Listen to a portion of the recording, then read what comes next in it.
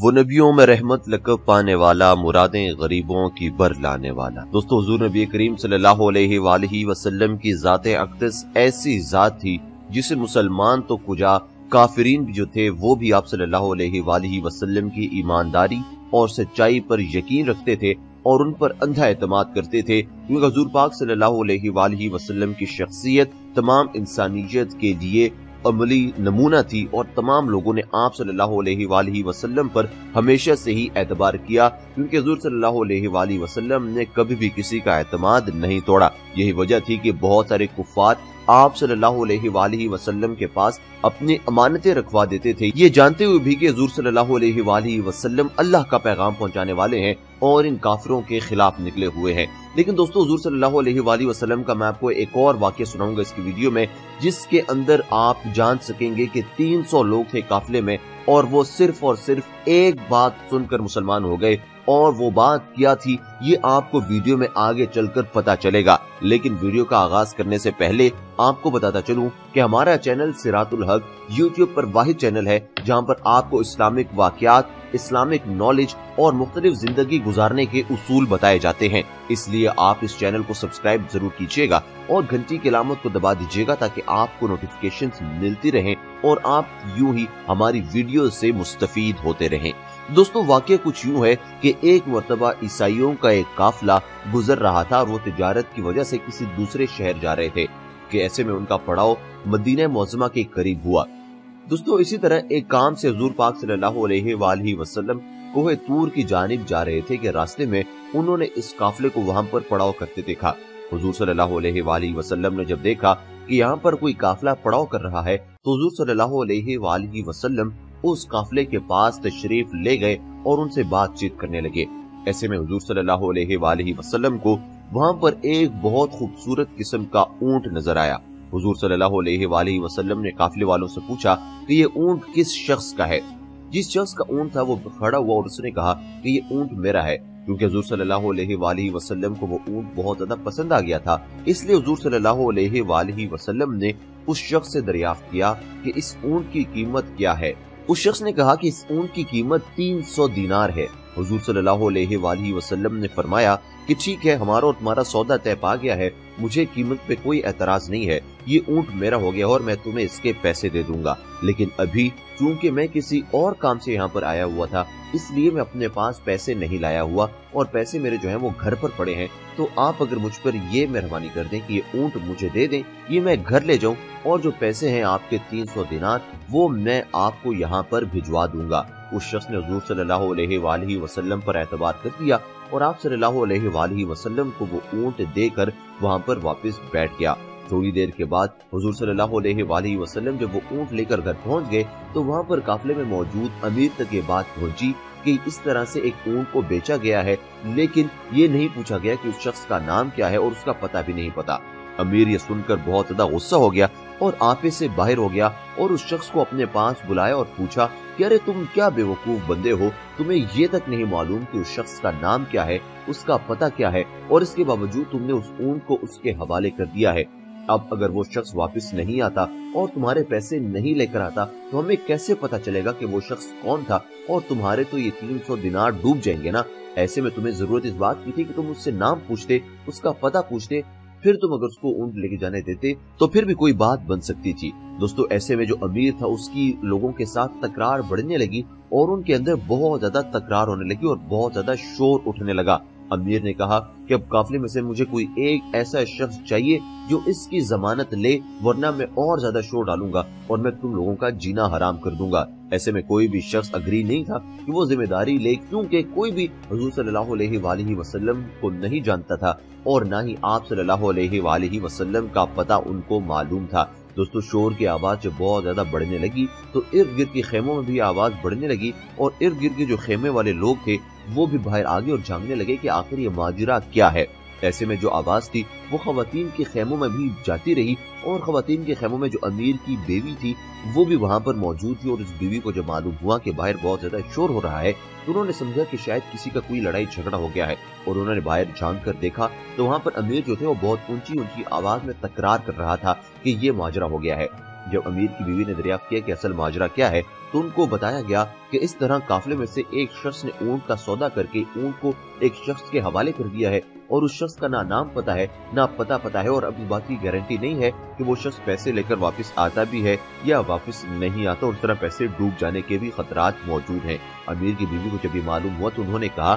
کہ آپ اس کی فکر نہ کیجیے اس بات کی ضمانت میں لیتی ہوں، کیونکہ جب وہ شخص اونٹ خرید رہا تھا تو میں نے جھانک کر دیکھا تھا۔ اس شخص کے چہرے پر بہت زیادہ نور تھا، بہت حسین چہرہ تھا، بہت ایماندار لگ رہا تھا وہ شخص، اور مجھے یقین ہے کہ وہ شخص جو بھی ہے، وہ تمہارے پیسے لے کر ضرور آئے گا۔ اس لیے تم میری ضمانت کو یہاں پر کنسیڈر کر لو، اور میں اس بات کی ضمانت دیتی ہوں کہ وہ شخص واپس آ کر تمہارے پیسے دے گا اور تمہارے تین سو دینار کبھی بھی نہیں ڈوبیں گے۔ دوستو، جب اس عیسائی عورت نے ضمانت لے لی تو بات تو وہاں پر ختم ہوگی اور جو رولا مچا ہوا تھا وہ تو ختم ہو گیا اور لوگوں نے کہا کہ ٹھیک ہے، اس عورت نے ضمانت لے لی ہے، اب یہ جانے اور اس کا کام جانے۔ تھوڑی ہی دیر کے بعد وہاں سے صحابہ کرام کا گزر ہوا۔ دو صحابہ کرام وہاں سے گزرے تھے، ایک کے ہاتھ میں تھال تھا جس کے اندر کھجوریں تھی انہوں نے کھجوریں اس لشکر والوں کو پیش کر دی اور ان سے کہا کہ آپ یہ کھجوریں کھا لیں۔ جب ان لوگوں نے دریافت کیا کہ آپ ہمارے لیے کھجوریں کیوں لائے ہیں، تو انہوں نے کہا کہ ہمارے آقا صلی اللہ علیہ وآلہ وسلم تھوڑی دیر پہلے یہاں سے اونٹ کا سودا کر کے گئے تھے اور انہوں نے ہمیں فرمایا ہے کہ یہاں پر ہمارے مہمان آئے ہوئے ہیں جنہوں نے یہاں پر پڑاؤ کیا ہوا ہے۔ تم جاؤ اور ان کی مہمان نوازی کرو اور ان کے لیے کھجوریں لے کر جاؤ تاکہ وہ کھا کر اس سے ان کا پیٹ بھر جائے۔ یہ سننے کے بعد وہ لوگ بہت زیادہ حیران ہوئے اور ان کو بہت تعجب ہوا کہ وہ شخص جو یہاں سے اونٹ لے کر گیا تھا جس کے بارے میں ہم مختلف قسم کے وسوسے کر رہے تھے، خسر خسر کر رہے تھے کہ وہ شخص واپس آئے گا، پیسے لائے گا یا نہیں لائے گا، اس نے اپنے لوگوں کو بھجوا کر ہمارا اتنا خیال کیا کہ ہمارے لیے کھجوریں بھی پیش کر دی ہیں۔ اسی اسنا میں جو دوسرے صحابی تھے، انہوں نے اپنی جیب سے تین ہزار دینار نکالے اور اس شخص کو پیش کر دی اور کہا کہ یہ اس اونٹ کے پیسے ہیں جس کا سودا میرے آقا صلی اللہ علیہ وآلہ وسلم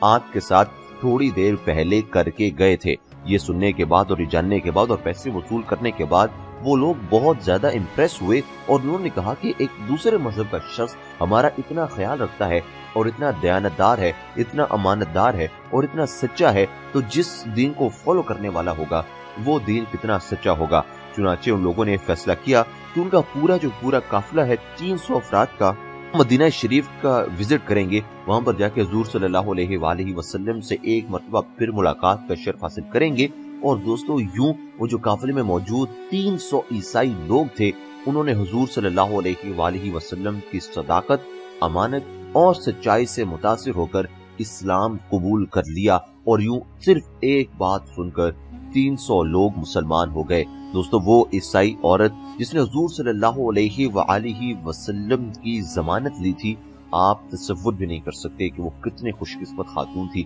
جنہوں نے حضور صلی اللہ علیہ وآلہ وسلم کو دیکھ کر ہی پہچان لیا۔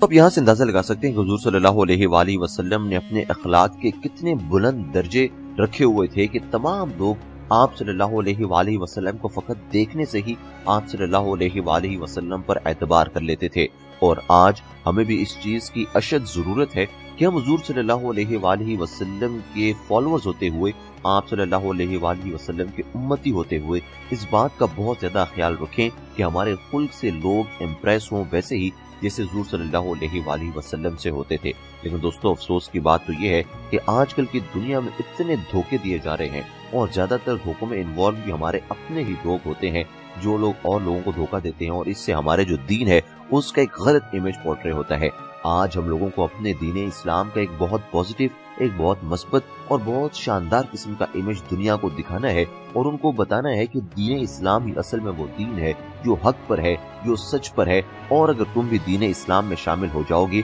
تو ترقی کی معراج پر پہنچ جاؤ گے، ورنہ ذلت و رسوائی تمہارا مقدر بنے گی۔ دوستو، ہم لوگ لکی ہیں، ہم لوگ بہت زیادہ خوش قسمت ہیں کہ ہم حضور صلی اللہ علیہ وآلہ وسلم کے فالوور ہیں۔ آپ صلی اللہ علیہ وآلہ وسلم کے امتی ہیں۔ اور ہمارا اسلام دین اسلام ہے جو حقانیت پر پورا اترتا ہے اور دنیا کا واحد سچا دین ہے۔ دوستو، میری آپ تمام لوگوں سے یہ درخواست ہے کہ آپ حضور صلی اللہ علیہ وآلہ وسلم کے اسوہ حسنہ کو مضبوطی سے تھامے رکھیں اور آپ صلی اللہ علیہ وآلہ وسلم کی سنتوں اور آپ صلی اللہ علیہ وآلہ وسلم کے فرامین پر زیادہ سے زیادہ عمل کریں۔ اور میری اللہ تعالیٰ سے دعا ہے کہ اللہ تعالیٰ ہم ساروں کو ایک بہت اچھا مسلمان بنائے اور آپ صلی اللہ علیہ وآلہ وسلم کی فرامین اور آپ صلی اللہ علیہ وآلہ وسلم کی احادیث پر عمل پیرا ہونے کی توفیق عطا فرمائے۔ دوستو، آپ کومنٹ سیکشن میں ہمیں ضرور بتائیے گا کہ آپ کو یہ واقعہ جاننے کے بعد کیسا محسوس ہوا اور اگر آپ کو یہ واقعہ اچھا لگا ہے تو اس ویڈیو کو لائک ضرور کیجیے گا۔ کومنٹ میں اپنی رائے کا اظہار کرنا نہ بھولیے گا۔ اور جاتے جاتے ریڈ بٹن دبا کر ہمارے سبسکرائبر ضرور بن جائیے گا اور بیل آئیکن کو دبا دیجیے گا تاکہ آپ کو بر وقت ہماری تمام تر ایسی نوٹیفیکیشن ملتی رہیں جس کے اندر آپ کو اسلامک واقعات، اسلامک اقوال اور دین اور دین الہی سے متعلق تمام تر معلومات دی جائیں گی اور آپ کو ڈیلی روٹین لائف کے ایسے وظائف بھی بتائے جائیں گے جن کو اپنانے سے آپ کی زندگی سمر جائے گی۔ انشاءاللہ آپ سے ملاقات ہوگی ایک اور ویڈیو میں۔ اس امید اور آس کے ساتھ کہ آپ ہمارے چینل کو ریگولرلی فالو کرتے رہیں گے۔ مجھے دیجیے اجازت۔ اللہ حافظ۔